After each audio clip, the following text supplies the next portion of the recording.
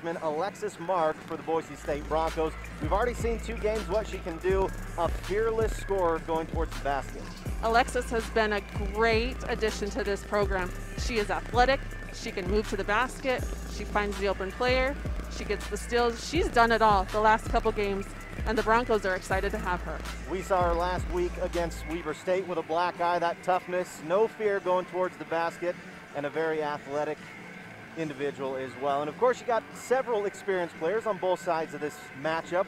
One, Mallory McGwire in Washington. We'll be back on the Mountain West Network right after this.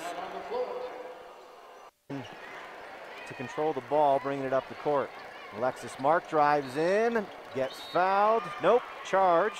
And that's something you just got to get used to. What is the line on a lot to go off of? And they do know Mallory McGwire is very good, and they don't want to give her any easy buckets. Steal by Alexis Mark in transition, and it's good. Eastern wants to talk it over. A great start to the second quarter for the Broncos, leading 24 of their total points, half of their offensive output off turnovers. Eagles haven't been able to put up a point off a turnover. Great rebounding effort from Rachel Bowers. Eventually over to go off just yet is Alexander. No good there. Still waiting for her to pick up form. Great transition play assist from Jade Loville to Alexis Mark. And we've seen that a lot from do, but all they know is hard work. They haven't been out from distance. Her second three of the game after that buzzer beater, but they're in transition. You can't celebrate for long because Alexis Mark will make you pay in transition.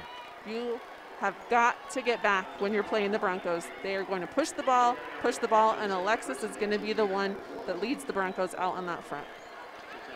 And one for her. Knocks down the three-point play. Mary Kay Naro picked up with a little double team. Looking to find the open teammate. Mark drives in baseline. Nice move from Alexis Mark. Silky smooth finish off the glass. What a way to read the defense. Eagles moving around the perimeter. Looking to find someone open in the post, and there's Alexis Mark with the steal. No numbers, but she goes aggressive to the hoop. No bucket, but she'll get the foul. Once again, the hustle and effort from Alexis Mark truly making its mark. Absolutely making that mark on this team. Offensive, defensive, and then again, getting to the basket, going to the free throw line here. She Newman thought she got fouled. Refs don't agree, and in transition, who else but Alexis Mark? Great look by the post player to get the ball up the floor to Alexis for that fast break point. You got time. That's just called experience, but the Broncos limiting the turnovers, which with better teams that can. Um,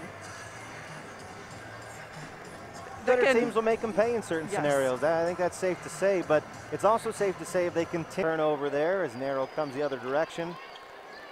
Mark slashing in, up no good. Lalotte with the rebound, gets fouled.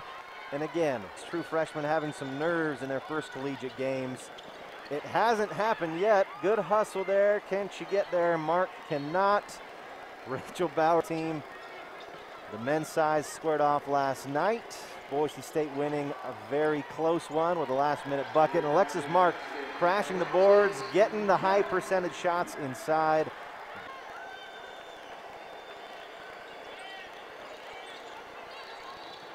Big screen and an illegal screen. Alexis Mark happy to take one on the chin there as the Broncos get. Definitely an offense.